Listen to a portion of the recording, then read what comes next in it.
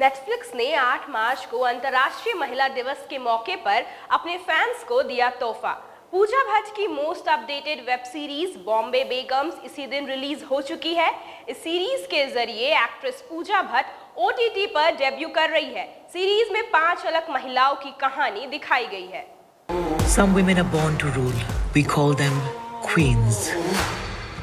Some women secretly aspire to be queen. Ali और आप देख रहे हैं जेके न्यूज़ नेटवर्क। आज हम बात करेंगे बॉम्बे बेगम सीरीज़ के रिव्यू के बारे में।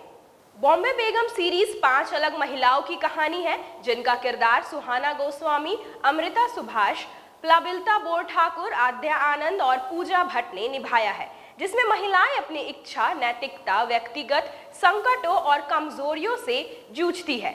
कहानी में जैसे जैसे परिस्थितियाँ बदलती है और दिल टूटते हैं, वैसे वैसे उन्हें मुश्किल चुनाव करना पड़ता है।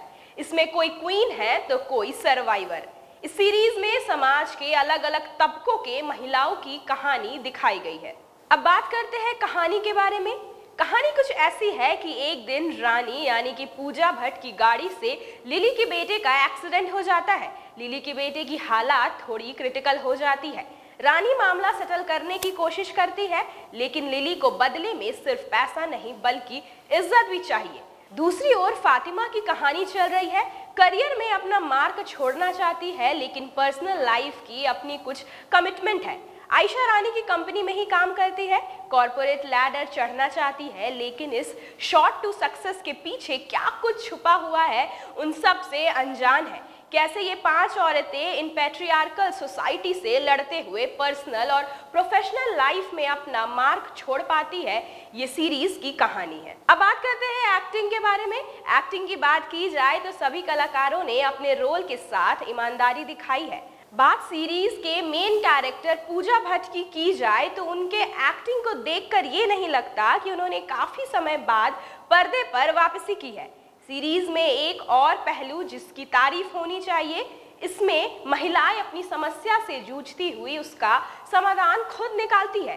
सीरीज़ के अंत में कोई पुरुष सुपर हीरो बनकर उनकी समस्या नहीं सुलझाता है। सीरीज़ की राइटर और डायरेक्टर अलंकृता श्रीवास्तव है। Critically acclaimed lipstick under my Burkha और पिछले साल आई डॉली किटी और वो चमकते सितारे जैसे फ़िल्मों को भी राइटिंग और डायरेक्शन कर चुकी है। आपको बता दें कि ये वेब सीरीज़ रिलीज़ होते ही कंट्रोवर्सी में आ चुकी है। बॉलीवुड के बाद अब ओ टी प्लेटफॉर्म्स पर सरकार ने कड़ी निगरानी रखने की बात कही है। तांडव वेब सीरीज़ कांड के बाद सरकार इस मामले में तेज़ी से आगे बढ़ रही है और Amazon प्राइम के बाद नेटफ्लिक्स जैसे कई और प्लेटफॉर्म्स पर शिकंजा कसता नज़र आ रहा है। जी हाँ बाल आयोग ने नेटफ्लिक्स को उनकी वेब सीरीज़ बॉम्बे बेगम के लिए कंटेंट को लेकर नोटिस भी भेज दिया है। इसके साथ ही 24 घंटे में रिपोर्ट देने के लिए कहा है। बता दें कि नेटफ्लिक्स की ये वेब सीरीज़ रिलीज़ होने के बाद अब बाल आयोग ने ये कदम उठाया है। बाल आयोग ने नेटफ्लिक्स को नोटिस भेजा है, जिसमें कहा गया है कि बॉम्बे बेगम की स्ट्रीमिंग बंद करे और 24 घंटे में रिपोर्ट दे। बाल आयोग को शिकायत मिली है कि इसमें 13 साल की बच्ची को ड्रग्स लेते दिखाया गया है। इसके साथ ही स्कूली बच्चों का जिस तरह चित्रण किया गया है, उस पर भी आपत्ति जताई है।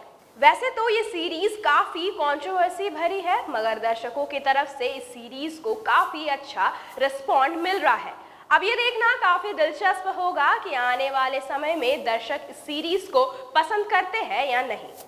तो ये थी जेके न्यूज़ नेटवर्क पर। बॉम्बे बेगम के ऊपर कुछ खास पेशकश। तो आगे हम आपको ऐसे ही अपडेट्स देते रहेंगे। तब तक के लिए बने रहिए जेके न्यूज़ नेटवर्क के साथ। अब मुझे दीजिए इजाज़त। धन्यवाद।